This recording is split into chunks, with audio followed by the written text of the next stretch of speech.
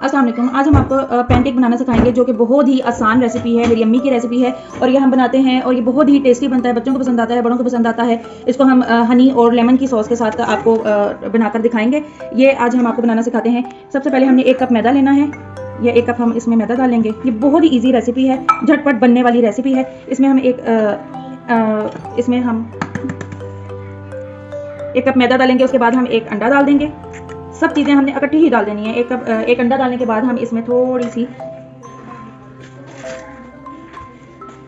पिसी हुई चीनी हमने दो तीन टेबल स्पून डालनी है।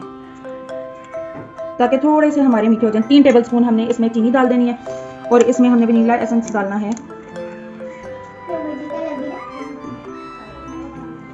एट टू नाइन ड्रॉप्स और उसके अंदर हम डाल देंगे।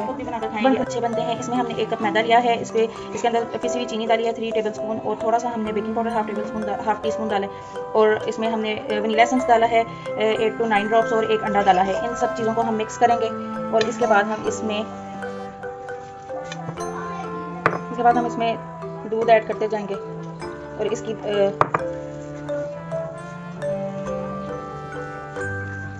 इसको मैं आपको मिक्स करने के बाद कंसिस्टेंसी बताऊँगी कि कितनी पतली होनी चाहिए। पैनकेक के लिए।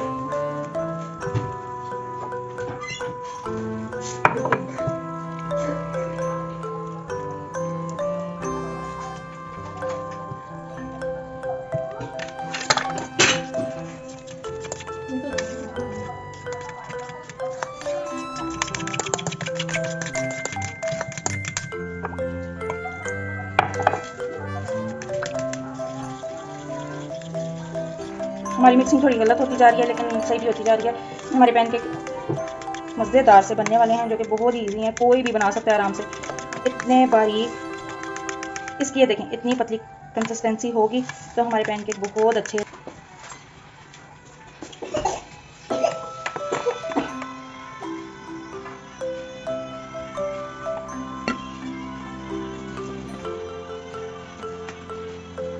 देखें, हमने इसमें थोड़ा थोड़ा करके बटर ऐड करना है।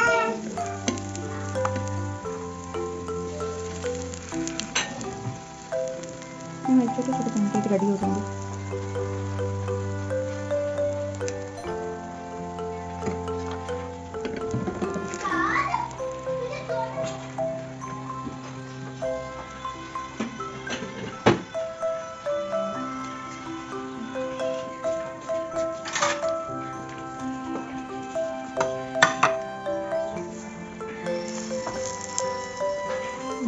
प्यारा गोल्डन ब्राउन हो गया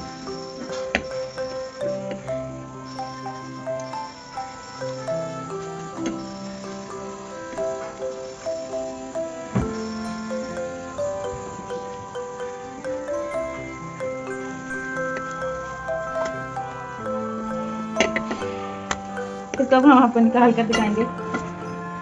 ये हमारा मज़ेदार सा पैनकेक रेडी हो गया। इसको आप चॉकलेट के साथ जैम के साथ और हनी और लेमन की